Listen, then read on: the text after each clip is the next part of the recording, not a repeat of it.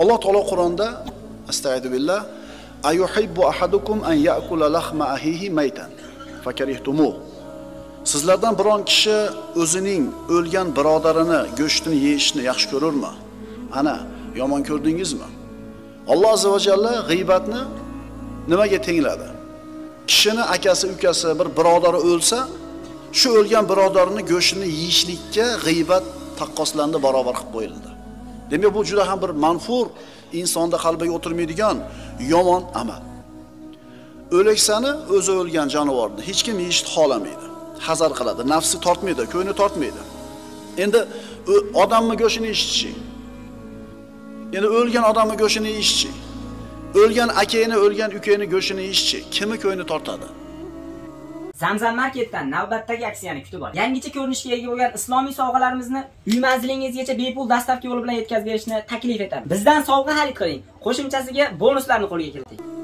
bu g'iybat degan narsa shunday bir hayotimizga singib singib ketganki g'iybatsiz biron bir suhbatimiz o'tmaydi agar shunday desam mubolag'a bo'lmaydi o'tgan safar aytdim g'iybat boshlanganda ich oramizda shunday bir odamlar bo'lsaki sekin turib chiqib ketib qolsa sekin turib chiqib ketib qolsa shu odam chiqib ketganidan g'iybat qilayotganligimizni sezadigan bo'lsak qanday ham zo'r bo'lar edi.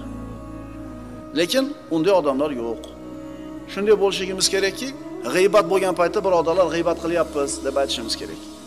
G'iybatni oltita o'rinda mumkinligini ulamolar mana kitoblarda yozib qo'yibdi aytib berdim. Oltita o'rinda g'iybat qilishlikka ulamolar ruxsat berishgan. To'rt xil holat bo'ladi kishi g'iybat qilganda. Bir holatda gunohkor bo'ladi bir holatda munofiq bo'ladi bir holatda kofir bo'ladi bir holatda savob oladi.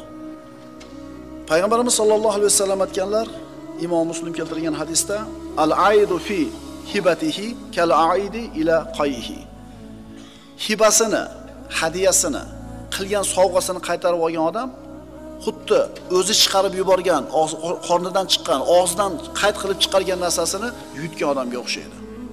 Hech kim o'zi chiqargan qayd qilgan narsasini yeyishlikni xohlamaydi ko'ngli tortmaydi. Endi hadiyasini qaytarib olgan odam shu odam qatorida bo'ladi endi g'iybat qilgan bundan ham xunukroq ko'rinishda bo'ladi. Mana endi birodarlar dalilsiz mana o'tgan darsimizda aytdik xabarni qabul qilmaymiz. Shariat ruxsat bergan tor doiradan tashqarida g'iybat qilmasligimiz kerak bo'ladi. Mana g'iybat. G'iybat bu musulmonni haqqini yeyishlikka kiradi? G'iybat bu bir insonni haqqini yeyishlikka kiradi? Qiyomat kunida alloh taolo karim zot o'zini haqqidan kechadi. Alloh karim lekin bandalarni haqlariga aralashmaydi. Ko'p takrorlaganmiz jannat eshigini oldiga boradi bir banda. Alloh taolo uni gunohlarini avf qilib olloh o'zini haqqidan kechdi bor kiraver jannatga dedi. Jannatni eshigi oldiga bordi bir to'p odamlar kutib turibdi. Unisini g'iybat qilgan buni urgan buni so'kkan buni molini olgan. Endi bularni haqqiga alloh taolo aralashmaydi o'zi hisob kitob qiladi. Savoblardan olinadi. Savoblardan olinadi bularga. Savobi tugab qoldi hali haqdorlar turibdi. Endi ularning gunohlari bunga yuklatiladi jahannamga ravora bo'ladi. G'iybat birodarlar bu birovni haqqini yeyishlik. Payg'ambarimiz sollallohu alayhi vasallam aytganlar kullul muslimi alal muslimi haromun damuhu va maluhu va irzuhu har bitta musulmon boshqa bir musulmonga harom nimasi harom moli joni va obro'yi. moli joni va obro'yi qoni. moli bilan qoni harom ekanligi tushunarli uni qonini oqizib bo'lmaydi uni molini uni roziligisiz olib bo'lmaydi. Endi obro'yi harom degani qanday tushunamiz? Bir insonni maqtadingiz obro'yiga yaxshi bo'ldi. Bir odamni yomonladingiz g'iybat qildingiz obro'yiga putur yetkazdingiz. Ana shu musulmonni g'iybat qilishlik obro'yiga putur yetkazishlik bo'ladi. Bu harom bo'lgan narsa. Ba'zida ko'proq yoshlarda bo'ladi shijoat kattaligidan ilmsizlikdan tajribasizlikdan bir odam haqida bir gapni eshitadida shart a u kofir deb yuboradi men ko'p aytaman akalar ukalar birovni kofir deyish demaslik bizni ishimiz emas falonchini kofirga chiqarmaganimizga qiyomatda javobgar bo'lmaymiz agar falonchi iymondan chiqib kufrga kirishga sabab bo'ladigan so'zni, fe'lni qilgan bo'lsa, siz kofir demasangiz ham kofir bo'laveradi, xotirjam bo'ling. Ammo siz kofir deyotgan odamda shu kufr sifati bo'lmasa-chi? Kim bir musulmonni kofirga chiqarsa, dalilsiz, hujjatsiz, isbotsiz, bas bu odam o'zi kofir bo'ladi. Mana inson bolasidagi eng qimmat narsa nima? Iymoni. Jonidan ketsa kechadi, molidan ketsa kechadi, lekin mo'min odam iymonidan kechmaydi. u uchun eng aziz bo'lgan, qadrli bo'lgan narsani shunaqa bir osonlik bilan e, kofirga chiqarib qo'ramizmi? Osonlik bilan kufr iymondan uni ajratib qo'yamizmi Sen kimsan uni kofir deganida? Nima hujjat, nima haqqing bor seni Sen hukm qilyapsan palonchi kofir deb, palonchini gapi bilan hukm chiqaryapsan. Sen o'zing ko'rdingmi? Shu gapni gapirganini eshitdingmi? O'zini ixtiyori bilan aytdimikin shu gapni gapirgan bo'lsa ham yo birovni gapi bilan birovni kofir deysanda, o'zingni kofir bo'lishlikka ro'bara qilib qo'yasan, birodar. Kofir degan aytyapti olinglar. Chunki Imom Azam rahmatullohi alayh mana fiqhul akbarida aytadi: vala nukaffiru musliman bi dhanbi minaz zunub Biron bir musulmonni deydi Imom Azam, biron bir gunoh tufayli kofir demaymiz. Va inkanat kabiratan. Garchi u gunohi katta bo'lsa ham kofir demaymiz, modomiki shu gunohni halol demasa bo'ldi. Bizning aqidamiz shunaqa. Namoz o'qimasa kofir demaymiz, bir xil tildan osonlik bilan chiqib ketyapti. Susqo'rlik bilan shug'ullansa kofir demaymiz. Imom Azam aytayapti, qilgan gunohi har qancha katta bo'lmasin, gunohi kabira bo'lsa ham biz uni kofir demaymiz. Modomiki shu gunohni nima demasa, kofir bo'lmasdan fosiq bo'lishi mumkin deydi Imom Azam. Demak biz gunoh kabira qilayotgan odammi, Allohdan qo'rqmayotgan odammi fosiq deymiz, lekin kofir degani shoshilmaymiz. Agar bu gapirgan gapingizlarda ukalar qanchalar mas'uliyati, og'irligi, javobgarligi kattaligini bilganinglarda umuman gapirmasdinglar shu gapni. Aytayotib olinglar. Payg'ambarimiz aytadilar, bu hadis Imom Muslim rivoyat qilgan Abdulloh ibn Umar roziyallohu anhudan. Iza kaffara rajulu akhahu faqad ba'a biha ahaduhuma. Agar bir kishi Payg'ambarimiz aytdilar, bir kishi o'zini birodarini kufrga nisbat qilsa, kofir desa, shu kofirlik ikkitasidan bittasi bilan ketadi. Sahih hadis Imom Muslimdan Abdulloh ibn Umardan. Sunnatda eng mahkam ushlagan Umar ibn Xattobning o'g'li Abdulloh ibn Umarda rivoyati. Kim o'zini bir birodarini kofirga chiqarsa, shu kofir degan sifat ikkalasidan bittasi bilan birga ketadi. Agar odam kofir bo'lsa, kofir bo'ldi, illo o'zingga qaytdi. Senga kerakmi shu narsa, birodar? Payg'ambarimiz aytadilar: "Min husni islamil mar'i tarkuhu ma la ya'nihi." Kishi o'zi uchun muhim bo'lmagan narsalarni tark qilishi nimani belgisi? Islomini go'zal ekanligini belgisi. Seni ishingmi uni kofir deyish? Seni ishing emasmi? Shuning uchun birodarlar, musulmonni, musulmonga moli, joni, obro'yi harom deganda mana shu g'iybat qilish, uni kofirga chiqarishlik xuddi shu narsaga tushadi. Tilimizni tiyaylik. Tilimizni tiyaylik. Astagfiru billah. Ya ayyuhannas, inna khalaqnakum min zakarin va unsa va ja'alnakum shu'uban va qabaila lita'arafu inna akramakum 'indallohi atqakum innalloha alimun khabir. 13-oyat Alloh taolo xitob qiladi. Ey insonlar, dar haqiqat biz sizlarni bir erkak va bir ayoldan yaratdik. Odam otadan va momo havodan. Hamda bir-birlaringiz bilan tanishinglar, do'st birodar bo'lishinglar uchun sizlarni turli tuman xalqlar va qabilalar, elatlar qilib qo'ydik. Albatta sizlarning Alloh nazdidagi eng hurmatli rog'ingiz taqvodorrog'ingizdir. Albatta Alloh bilguvchi va ogohdir. Mana Alloh taolo aytib qo'ydi. Biz sizlarni xilma-xil millat elatlarga bo'lib qo'ydik.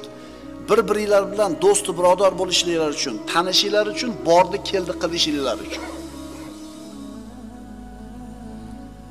Bu oyat butun insoniyatga xitob, faqat musulmonlarga emas, butun insoniyatga.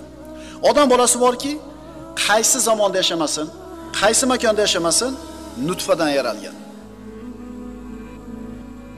Ana shu avratdan chiqqan, avratga kirgan, avratdan yana qaytib chiqqan.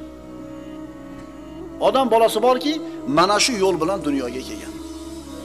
demak mana shu masalada hamma bir xil demak hech kim hech kim oldida kibr qilishlikka haqqi yo'q. Aslimiz shu ekan kiyimimizga tegib ketsa jirkanib tezroq yuborishga harakat qilamiz. Bizni aslimiz shu. Shuning uchun kibr qilayotgan odam nimaga kibr qiladi?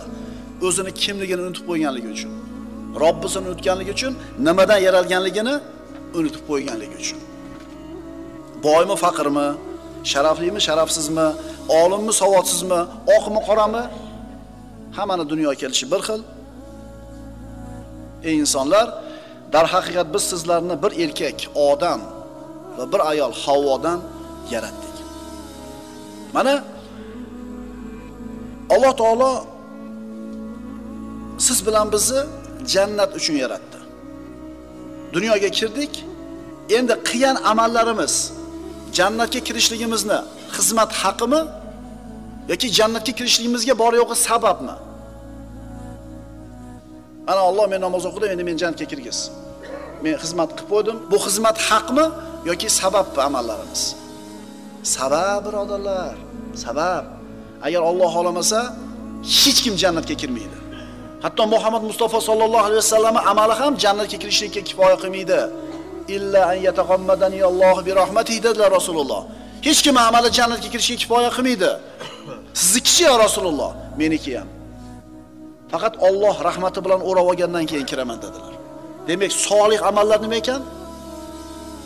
Jannatga kirishlikka sabab lekin jannatga olib kiradigan bilet emas. Shuni tushunib olaylik. Mana men namoz o'qiyapman aroq ichmayapman jannatga aniq kiraman demaylik Alloh xohlasa kiramiz. Mana endi solih amal jannatga olib keladigan sabab ekan. Solih amal qilishlik uchun inson jamiyat ichida bo'lishi kerak. Odamlarda orasida bo'lish kerak. Masalan hech kim yashamaydigan bir sahroga chiqib tiz to'rtta qo'yingizni haydab. Rostgo'yligingizni kimga qilasiz? Yolg'onchiligingizni kimga qilasiz? Sabr toat saxovat kechirimlilik bag'rikenglik degan sifatlarni ko'rsatishligimiz uchun atrofimizda kim bo'lishi kerak? Odamlar bo'lishi kerak. Shuning uchun alloh taolo odam bolasini uzlatda bo'lishini xohlamadi. Balki qayerda bo'lishi kerak? Odamlarni orasida. Payg'ambarimiz aytganlaridek odamlardan yetadigan aziyatlarga sabr qilmasdan tog'i toshlarga chiqib ketganinglardan ko'ra odamlarni aziyatiga sabr qilib ularni orasida yashaganinglar afzal deganlar ma'qulmi? Masalan mana odam o'zi ijtimoiy maxluq. Jamiyatda yashashligi kerak. Qo'lingizdan kelsa uchta ja bo'lsa beshta ishni zo'r qilasiz. Ammo hayotda undan ko'proq ishga muhtoj. Masalan non yopishni bilasiz. Ovqat pishirishni bilasiz. Kiyim tikishni bilasizmi? Yo'q. Demak tikuvchiga muhtojsiz. Ha kiyim tikishni bilasiz. Ovqat qilishni bilasizmi? Yo'q. Oshpaz demak insonlar bir biriga nima ekan? Muhtoj ekan. Uzlatda yashashligi mumkin emas. Alloh azza va jalla aytadi: "Va ja'alnakum shu'uban va qabaila lita'arafu." Bir-birlaringiz bilan tanishinglar, do'st birodar bo'lishinglar uchun sizlarni turli tuman xalqlar, qabila elatlar qilib qo'ydi. Maqsad shu edi ekan. Maqsad shu edi ekan. Bu qabilalar, bu elatlar, millatlar bir-biri bilan urushligi, qon oqizishi, bir ikkinchisini bosib olishligi, talon-talosh qilishi bu maqsad emas edi ekan. Alloh azza va jalla o'zi bilgan hikmat uchun turli millat elatlarga bo'ldi. Tillarni har xil qildi imkoniyatlarni har xil qildi. Har bitta el yashaydigan yurtni mintaqani tabiatini ham har xil qildi. Qarang bir qavm bor jismonan quvvatli lekin ilm sohasida orqaroq. Yana bir qavm bor jismonan zaifroq ammo ilm ma'rifatda texnologiyada zo'r. Xalqlar bor bir xalq borki yashaydigan yerining tabiati nihoyatda go'zal. Shunday bir xalqlar bor. Sahro taptaqir, lekin nefti bor. Shu nefti bilan o'sha sahroni nima qilyapti? Gullatib yashnatyapti. Yana bir xalqlar bor issiq yerda yashaydi. Shunday bir xalqlar bor sovuq yerda yashaydi. Alloh taolo mana shu yer xalqlarni yerlariga turli tabiiy boyliklarni ko'mib qo'ydi. Alloh o'zi bilgan hikmat uchun xalqlarda turli tabiat berdi ularga turli mintaqaga joyladi va ularni mana shu mintaqalarda o'zlariga xos bo'lgan ne'matlar bilan ne'matlab qo'ydi demak insoniyat bir biriga muhtoj xalqlar bor choy ekib tirishchilik qiladi xalqlar bor banan ekib tirishchilik qiladi Xalqlar bor paxta ekib tirishchilik qiladi. Xalqlar bor chorvadorlik bilan shug'ullanadi. Shunday qilib bir-biriga nima ular muhtoj. Demak, Alloh taolo mana shu xalqlarni bir-biri bilan do'st, birodar bo'lishi uchun turli millat elatlarga bo'lib qo'ydi. Kishi o'zini mehnati bilan emas, Alloh taoloni berib qo'ygan narsasini o'zi bilan boshqalar oldida faxrlanishga haqqi yo'q. Qaytaramiz. Kishi o'zini mehnati sababli erishmadi bir narsaga. Bu narsani Alloh taolo shunday berib qo'ydi. Bu narsa bilan boshqalardan faxrlanishlikka haqqingiz yo'q. Masalan, qomatingizni kelishgan, chiroyli qilib qo'ydi. Bu bilan faxrlanmang, chunki bunda siz hech qanday hissangiz yo'q. Alloh taolo sizni boy, badavlat mamlakatda dunyoga keltirib qo'ydi. Boshqa faqir mamlakatdagi odamlarni mensimaslikka haqqingiz yo'q. Ma'qulmi? Inson o'zini qilgan ishi bilan, o'zini qilgan fe'li bilan, topgan narsasi bilan faxrlansa arziydi. Shuning uchun arabni ajamdan hech qanday afzalligi yo'q dedilar Rasululloh, magar taqvo bilan. Birov o'zini tilini go'zalligi bilan faxrlanadi. Kimdir yurtini, tabiatini chiroyli ekanligi bilan faxrlanadi. Kimdir tabiiy boyliklarga yurti to'lganligi bilan faxrlanadi. Kimdir falonchi millatdanman deb faxrlanadi. Bu narsalar bilan musulmon kishi faxrlanmaydi. Tushunarli bo'ldimi? Chunki bu narsalar insonni oxiratda bir qadam oldiga ham surmaydi, bir qadam orqaga ham surmaydi. Mana turli millat elatlarga insoniyat bo'lindi. Kishi safar qilar ekan, sayohat qilar ekan, boshqa xalqlarni ko'radi. Ularni bir madaniyatini o'rganadi. Ovqatini yeydi, kiyimini kiyib ko'radi, safar qilib keladida o'tirib uydagilarga ko'rgan narsalarni gapirib beradi, uydagilar havas qilib eshitadi.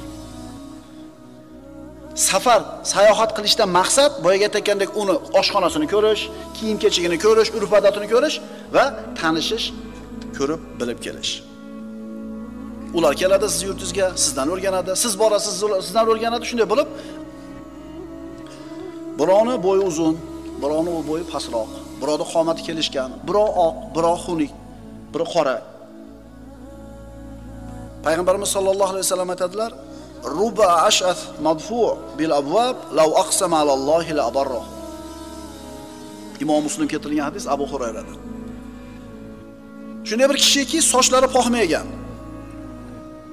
Eshiklarni oldidan qaytarilgan. Eshikka kelsa haydab yuboradi, "Bor, nariyoqqa bor" deydi. Borki, agar u Allohga qasam ichib duo qilsa, Alloh uni duosini ijobat qiladi.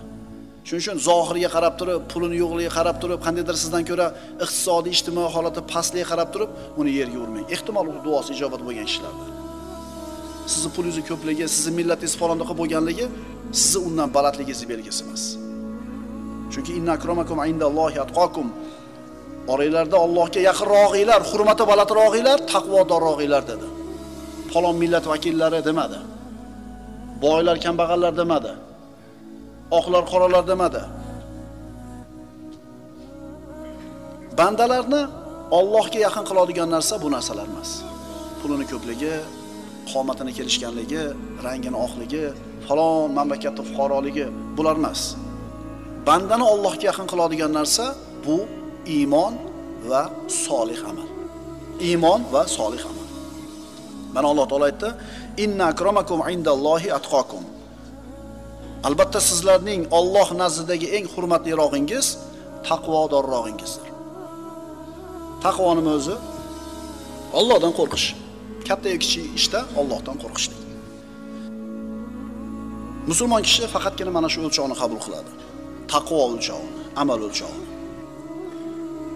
Shariat bir odamni ikkinchi odamdan afzalligini belgilayotganda faqatgina amaliga qaraydi, taqvosiga qaraydi. Agar Ahmad Mahmuddan ko'ra taqvodorroq bo'lsa, demak Ahmad Mahmuddan balandroq.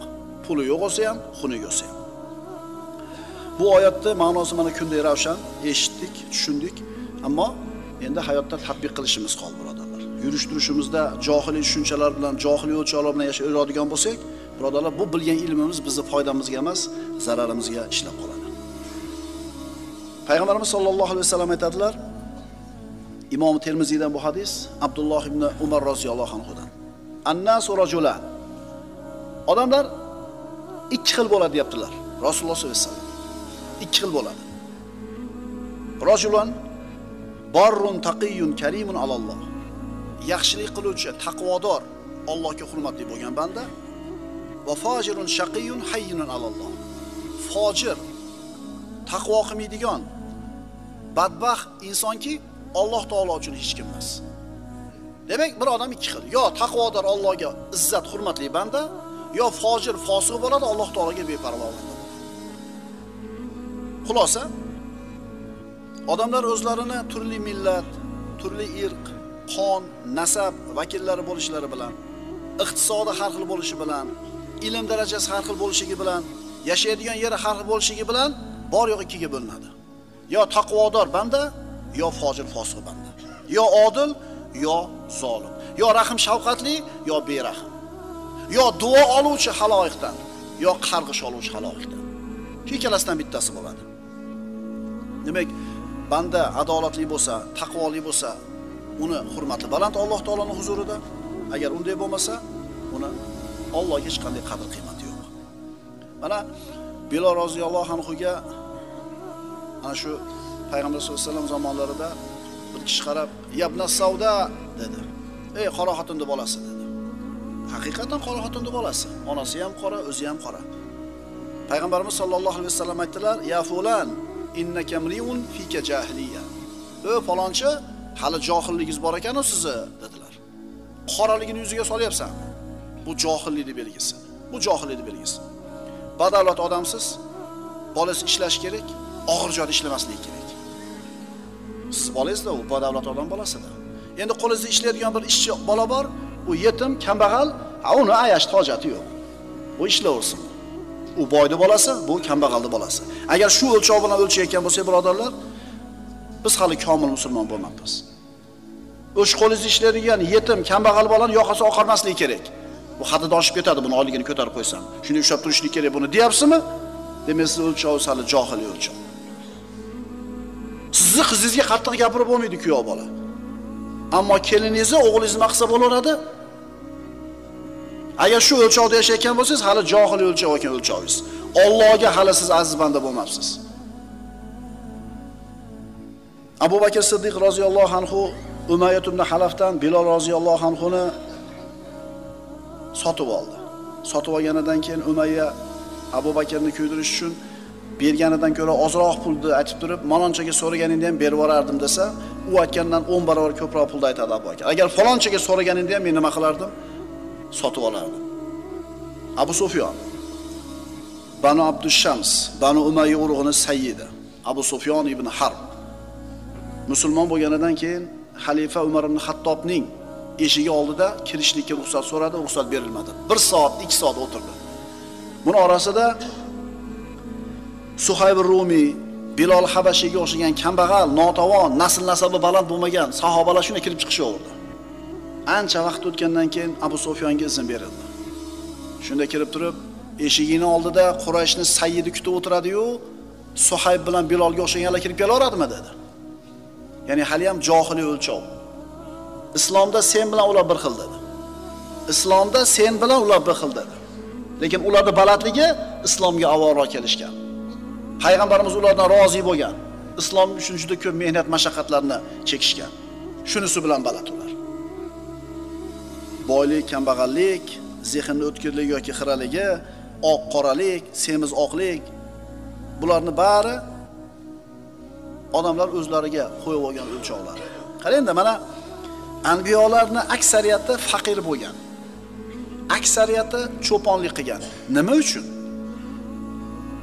Mana shu odamlar o'zlari o'rtasiga qo'ygan o'lchovlarni sindirishlik uchun. Alloh uchun eng aziz banda kimlar? Anbiyo va rasullar. Shularni kambag'al bo'lib cho'pon bo'lib yurishligi siz bilan bizga mana shu narsani o'rgatishligi kerak. Cho'ponlikdan ko'ra soddaroq oddiyroq ish bormi? Ko'p zehnni keragi yo'q ko'p quvvati keragi yo'q qo'yda hadab xo'sh xo'sh deb yuradi sahroda yoki tog'i toshda payg'ambarlarni shunaqa bo'lishini xohladiki alloh taolo aytyapti sizlar odamlar o'zaro qo'yib olgan o'lchovlar hech narsa emas. Alloh qodir edi hamma payg'ambarlarni boy badavlat podshohlarga aylantirib qo'yishlikka. Dini xulqi joyida bo'lgan amali chiroyli bo'lgan bir yigitdan qizingizga sovchi keldi. Qizingizni bermaysiz. Nimaga? Qo'li kalta ularda agar shu tushuncha bilan qizini bermayotgan bo'lsa bu otani o'lchovi johiliy ekan. Boshqa sabab ko'rsat boshqa sababni ko'rsat boshqa shaharda lekin puli yo'qligini sabab qilma birodar. Rizqingni kengligi Allohga aziz bo'lganligi uchun emas. Sen aziz bo'lganligi uchun emas. Rizqingni torligi Allohga xor bo'lganligi uchun emas. Bu ham bu ham sinov edi. Payg'ambarimiz aytadilar ida ja'akum man tardawna xulqahu va dinahu fankihu. Agar xulqidan dinidan sizlar rozi bo'ladigan bir kishi kelsa solchi bo'lib uylarga bas qizlarni nikohlab beringlar. Aks holda yer yuzida fitna va fasod ko'payadi. G'iybat ustida bir odam kofir bo'ladi. Bir odam munofiq bo'ladi. Bir odam gunohkor fosiq bo'ladi. Bir odam savob oladi kishi g'iybat qilgan paytda gapirgan paytda bu g'iybat emas bu sifat desa bu odam g'iybatni g'iybat emas dedi haromni harom emas dedi dindan chiqadi. Endi atini aytmasak g'iybat qilayotgan odamimizni g'iybat bo'lmas ekan deb turib atana aytmayapti lekin hamma bilib turibdi kim haqida g'iybat bo'lyapti. Bunda kishi munofiq bo'ladi. Kishi g'iybat qiladi g'iybatligidan tan olib turib gapiradi bu odam faqat gunohkor bo'ladi. Endi savob oladigan o'rni shuki bir fosiqni bir fojirni bir haddan oshgan tog'iyni yomonligidan odamlar omon qolsin degan maqsadda gapirsa shu o'rinda g'iybat qilgan odam savob topadi. Bu odam odamni haqqidan qo'rqmaydigan kishi. Mana buncha mana buncha odamni kuydirgan mana buncha buncha odamlarga zulm qilgan bu bilan sherik bo'ladigan bo'lsa mana bir xatar bor deb turib g'iybat qiladigan bo'lsa bu kishi savob oladi. Demak g'iybatdagi to'rt holat. Demak shuncha o'tilgan darsdan ma'lum bo'ladiki dalilsiz xabarni qabul qilmaymiz. Shariat ruxsat bergan tor doiradan tashqarida g'iybat qilmaymiz. Kishi boshqa bir musulmonni g'iybat qilar ekan uni haqqini yegan bo'ladi. Agar shu dunyoda haqqini ado qilib qo'ymasa ya'ni borib kechirim so'ramasa qiyomatda albatta ana shu yegan haqqiga javob beradi. Payg'ambarimiz sollallohu alayhi vasallam aytganlar kullul muslimi alal muslimi haromun damuhu va maluhu va irzuhu har bitta musulmonni boshqa musulmonga uchta narsasi harom qoni moli va obro'yi. Qoni moli va obro'yi harom. Qoni haromligi tushunarli uni urib bo'lmaydi uni o'ldirib bo'lmaydi. Moli haromligi ham tushunarli uni molini uning roziligisiz olib bo'lmaydi. Endi obro'yichi ana shu biz g'iybat qilgan paytimizda u odamni obro'yiga tajovuz qildik. Mana shu narsa ham qiyomatda siz bilan bizni yelkamizdan savol bo'ladi yuk bo'ladi. Shuning uchun insonni maqtayotganingizda obro'yini ko'taryapsiz. G'iybat qilib yomonlayotganingizda obro'yiga tajovuz qilyapsiz obro'yini tushiryapsiz shuning uchun ba'zida e, aniq bilmasdan turib a u kofir deb yuboramiz. A u munofiq deb yuboramiz. Mana shu narsaga juda ehtiyot bo'lishlik kerak. Chunki bu minbardan ko'p marta aytganmiz yana aytaveramiz. Kim bir musulmonni kofirga chiqarsa shu kufr degan narsa yo shu aytayotgan odamni o'ziga qaytadi yoki kufrda sifatlanayotgan odamga borib yopishadi. Payg'ambarimiz aytganlar bu hadis imom muslimdan abdulloh ibn umar roziyallohu anhudan rivoyat qilingan. Rasululloh aytadilar ida kaffara rajulu ahohu faqat ba biha ahaduhuma. Agar bir kishi o'zining birodarini kofirga chiqarsa sen kofirsan desa sen kofir bo'lding desa ha u kofir desa bu yerdan turib rasululloh aytadilar u ikkisidan biri shu narsa bilan ketadi. Bittasi kofir bo'ladi. Siz palonchini kofir dedingiz a u kofir dedingiz. Bu so'z havoda qolmaydi jon akalar ukalar shuni tushunaylik. Agar shu kofirlik sifati unda rost bor bo'lsa borib unga yopishadi. Agar yo'q bo'lsa demak u musulmon ekan musulmonni kofir degani uchun o'zingiz kofir bo'lasiz. Oq deng ko'k deng injiq deng boshqa deng lekin kofir demang. Agar unda shu sifat bo'lmasa siz o'zingiz kofir bo'lasiz. Sizga kerakmi shu narsa? Shu narsa kerakmi sizga? Ko'proq yoshlarga tegishli bu narsa. Bundan tashqari payg'ambarimiz sollallohu alayhi vasallamning hadislaridan imom termiziydan abu hurayradan min husni islamil mar'i tarkuhu ma la ya'nihi. Bir kishi deydilar rasululloh unga aloqasi daxli bo'lmagan ishlardan uzoq yurganligi unga aloqasi bo'lmagan ishlarni tark qilayotganligi islomining chiroyli ekanligidandir. Senga daxli bo'lmagan narsaga aralashmayapsanmi? Buni olmayapsanmi har yerga demak isloming chiroyli ekan. Aloqasi bo'lmasa ham burningni tiqoryapsanmi demak isloming chiroyli emas ekan. Demak birodarlar? Biz birovni nima demaymiz? Ochiq hujjat dalil bo'lgandagina kofir deyishimiz mumkin ammo gumon bilan birovni gapi bilan tekshirib tekshirmasdan bilib bilmasdan nima demaymiz? Imom azam rahmatullohi o'z o'zining fiqul akbar kitobida shunday deydi. Vala nukaffiru musliman bi zambi minaz zunub va in kanat kabiratan. Fiqul akbarda imom azam aytyaptilarki biron bir musulmonni biron bir gunoh sababli kofirga chiqarmaymiz. Garchi bu gunoh kabira bo'lsa ham. Aroq ichishlik kabira odam o'ldirishlik kabira zino qilishlik kabira. Lekin bu kabirani qilayotgan odam kofir emas. Modomiki halol sanamasin halol demayaptimi ichi yuribdi uni kofir deyishga haqqiz yo'q. Odam o'ldirdi yoki o'ldiryapti kofir deyishga haqqiz yo'q. Modomiki halol sanamasa bo'ldi. Vala nuzilu anhu ismal iymon imom azam aytadi bu odamdan iymon degan ismni olib tashlamaymiz va uni haqiqiy mo'min deymiz. Yakuna mu'minan fasiqon o'sha boyagi odam aroq ichayotgan zino qilayotgan suxurlik qilayotgan odam kofir bo'lmasdan fosiq musulmon bo'lishi mumkin. Kelishdiga u oxirgi ish birovni kofir deyish. Endi biz ishimiz emas u ahli ilmlarni ulamolarni qozilarni muftiylarni ishi u. Bizni ishimiz emas u shuning uchun musulmonni musulmonga qoni moli va obro'yi nima deyildi harom deyildi. Tilimizni tiyaylik tilimizni tiyaylik.